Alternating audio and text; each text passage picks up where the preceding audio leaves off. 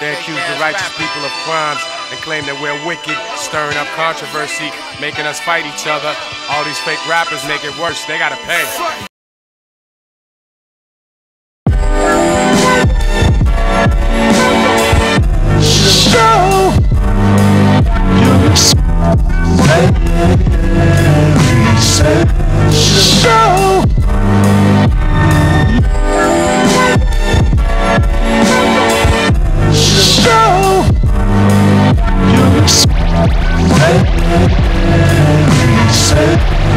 So